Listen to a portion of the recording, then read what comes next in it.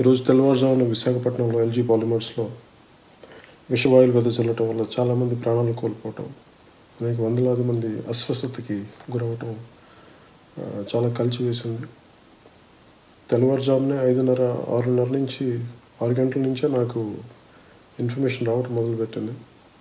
అక్కడ స్థానికంగా ఉన్న జన సైనికులు కొంతమంది వీడియోలు తీసి మా జనరల్ సెక్రటరీ గారికి తెలియజేయటం అటు నుంచి నా దృష్టికి వచ్చింది ముందుగా అది ఏ స్థాయి ఇన్సిడెంట్ నాకు అర్థం కాలేదు.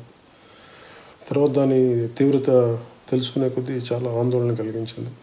చనిపోయిన మూగు జీవాలు దారిపోవడం వల్ల మనుషులు పడిపోయి పసిబిడ్డలు పడిపోవటం ఆడవాళ్ళు పడిపోవటం మగవాళ్ళందరూ కుటుంబాలు పడిపోవటం అసలు చాలా ఆవేదన కలిగించింది. ముందుగా చనిపోయిన మృతుల కుటుంబాలందరికీ మనస్ఫూర్తిగా నా తరపున జనసేన తరపున మీకు నా ప్రగాఢ సానుభూతిని తెలియజేస్తున్నాను. ఈ సమయంలో